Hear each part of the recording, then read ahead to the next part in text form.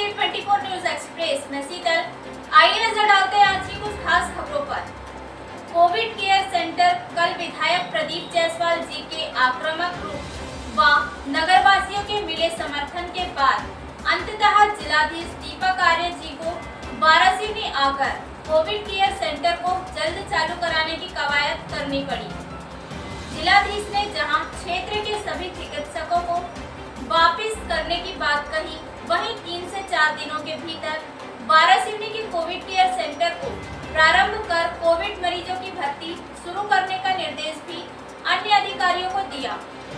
साथ ही वारासिवनी को 15 oxygen machine भी अन्य सामग्रियों के साथ प्रदान करने की बात कही। दूसरी ओर विधायक प्रदीप जायसवाल ने जिलाधीश के समक्ष फिर से सभी विषय रखकर तीन से चार दिवस के भीतर 30 ऑक्सीजन मशीन और प्रदान करने की बात कही। आज कोविड केयर सेंटर जल्द खुलने की खुशी भी जनमानस में स्पष्ट देखी गई। देखिए जैसा कल हमने इस समस्या को उठाया था कि जाने अनजाने में जो भी भेदभाव हो रहा है जी। और खासकर ये देखते हुए कि पैनगंगा नदी के ज़िले को दो भाग में बांटा जा सकता है।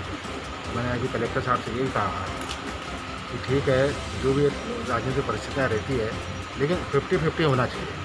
जितनी सुविधा उधर उतनी सुविधा हमारे वाराणसी खैलानी पटंगी लालबरा वाराणसी क्षेत्र में होना चाहिए। देखिए हर चीज़ में जब व्यवस्था बनाने की बात आती है काम करने वाले से गलती भी होती है।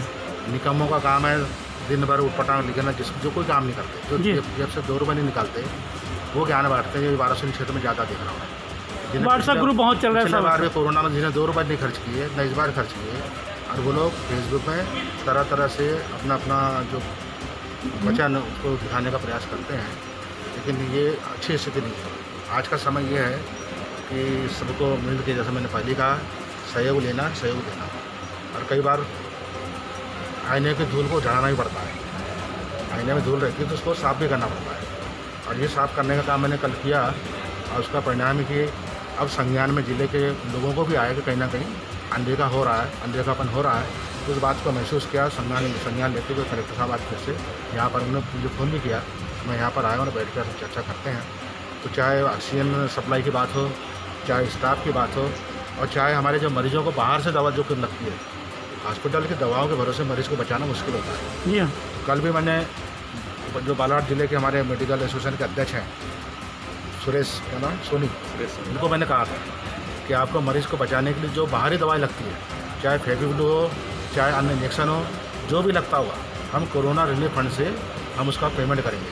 लेकिन कोई मरीज़ दवाओं के अभाव में मरना नहीं चाहिए। अकेले ऑक्सीजन से जान नहीं बचाई सकती अब हमारी व्यवस्था ये हुई है कि बेड के साथ साथ ऑक्सीजन की व्यवस्था भी होगी और इसके अलावा हम जो मशीनें बुला रहे हैं अभी कम से कम पच्चीस मशीनें हो रही हैं। हाँ। तो इस प्रकार से कॉम्बिनेशन बना है कि ऑक्सीजन की सिलेंडर और ऑक्सीजन की मशीन।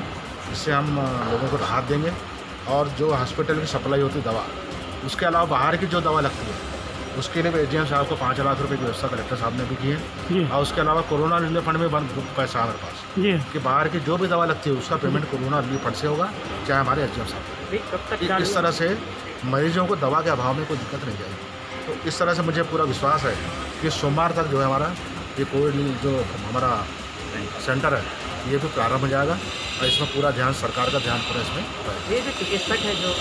हमारे डॉक्टर्स हैं और कलेक्टर साहब का कहना है कि चूँकि वहाँ भी लोड बहुत ज़्यादा है उसके बावजूद जो है हमारे जो ज़रूरी डॉक्टर हैं और जो हमारे नर्सिंग स्टाफ है जो लोग हैं वो हम यहाँ पर देंगे वापस करेंगे। जसवाल जी कल अगर आप प्रेस वार्ता नहीं रहते समाचार पत्रों में अगर ये नहीं छपता कि प्रशासन आपको सहयोग नहीं कर रहा है तो क्या शायद जिला कलेक्टर महोदय का ध्यान नहीं जाता क्या? नहीं जाता नहीं जाता। होता है एक बहुत बड़ा जिला है ये।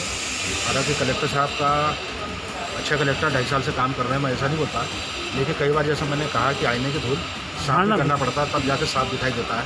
ये व्यवस्था को कई बार व्यवस्था को सुधारने के लिए फटकार लगाना भी ज़रूरी होता है। ये फटकार कोई व्यक्तिगत रूप में नहीं है ये व्यवस्थाओं के खिलाफ था मेरा आक्रोश हाँ हाँ। व्यवस्थाओं के खिलाफ आक्रोश व्यक्त करना जनप्रतिनिधि का कर्तव्य भी होता है क्योंकि बात मेरी नहीं मेरी पूरे क्षेत्र की जनता का सवाल है। हाँ। इसलिए मैंने वो फटकार लगाया था। और मुझे मतलब रिस्पॉन्स मिला और मुझे पूरी है कि सोमवार तक शासन प्रशासन के सहयोग से दूसरा हमारे वाराणसी क्षेत्र की जो जनता है हमारे व्यापारी वर्ग है हमारे जो समाज सेवी है सबके सहयोग से ये सेंटर जो है बहुत अच्छा काम करेगा। और आने वाली जो चुनौतियाँ आप आपदा की कोरोना की उन चुनौतियों का सामना करने के लिए तैयार है। कटंगी और बिल्कुल कल्याण जी कटंगी लालबर्रा सभी को यहाँ सुधरना